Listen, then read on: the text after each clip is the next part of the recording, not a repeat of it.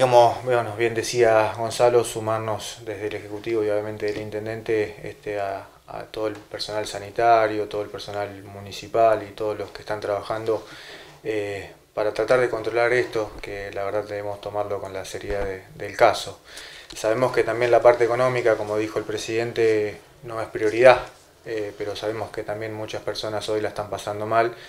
eh, y por eso el Estado municipal, a través de una resolución del Intendente, eh, resolvió adelantar el pago del mes de, marzo, que debería ser el 31 del corriente, para este día sábado. O sea que todos los empleados municipales vamos a contar este, el sábado con el sueldo depositado este, en, en el Banco Provincia.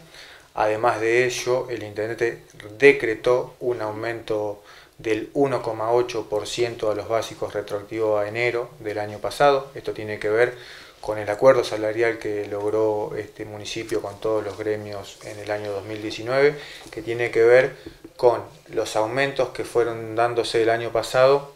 más los montos inflacionarios de cada mes, a partir de octubre, noviembre, diciembre y enero,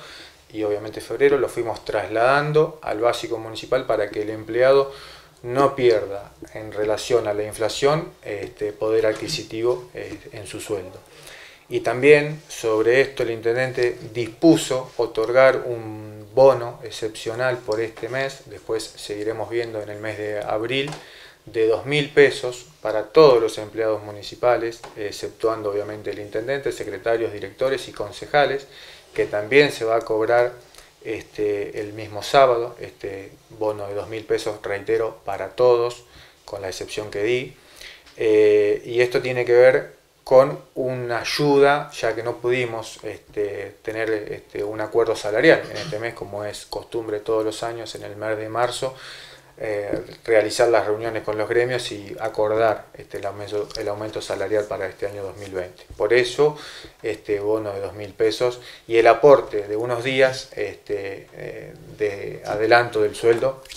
para este, los empleados municipales. También quiere comentarles el intendente a todas las personas que hoy están trabajando este, y dejando a sus familias y corriendo el riesgo que todos sabemos, este, que muy probablemente en el mes de abril o en el mes de mayo va a haber un bono excepcional para todas estas personas que estamos trabajando, que estamos viendo los números municipales porque consideramos y tenemos que saber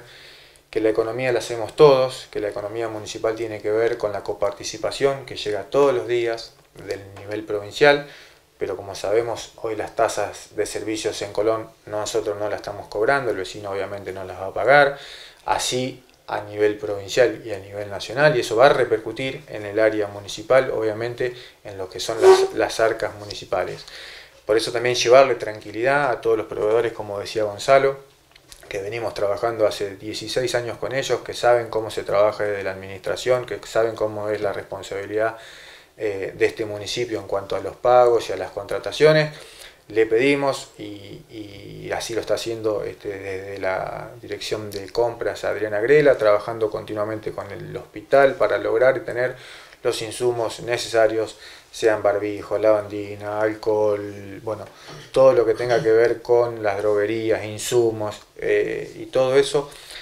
Eh, poder contarlos, poder tenerlos este, en stock y que no nos falten en el momento que quizás, eh, que ojalá y que no sea necesario. Por eso también este, decirles y agradecerles a todos los proveedores que están este, a total disposición de este municipio para que podamos contar con, con, los recursos.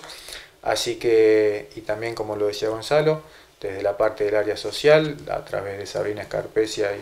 todo su, equipo, están trabajando día y noche en todos los casos, están el equipo municipal con todos los secretarios y directores repartiendo este, la asistencia social, que por ahí muchos este, lo verán como poco, lo verán como mucho, pero creo que es un esfuerzo desde este municipio que estamos haciendo para que el intendente pueda llegar a cada uno de los vecinos y tratar de que esta cuarentena, que seguramente se extenderá, no nos falte nada. Estamos trabajando día a día con esto, es una cuestión de que eh, el Estado nacional y provincial muchísimo esfuerzo están haciendo a través de todas las normativas que, van dictaminando, de todas las ayudas que va llegando y bueno, está trabajando codo a codo sin distinción política, que es lo bueno, como decía Gonzalo, que esto no existe una vacuna, pero sí existe la solidaridad y la prevención de todos los vecinos para poder llevar adelante esta pandemia. Eh, Diego, las dependencias municipales cerradas, o sea, que quiere venir a pagar una tasa un impuesto está cerrado, ya se prorrogaron para abril inicialmente los impuestos, los vencimientos. Exactamente, la administración solamente funciona lo que está por el decreto nacional, los que estamos exceptuados eh, de este decreto 297 del 2020. Eh, tesorería está funcionando porque es necesario que funcione para hacer todas las órdenes de compra, eh, todo lo que es pago y demás, pero están trabajando el personal jerárquico y sus tesoreros, contador, jefe de compras. El personal municipal está exceptuado de venir y está cuidando a su familia, resguardándose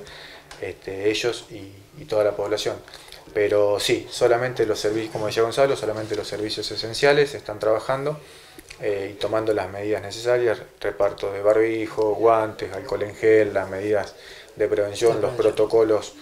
que estamos haciendo. Gonzalo podrá también contar un poco en cuanto a la desinfección de los equipos municipales y demás que se viene trabajando.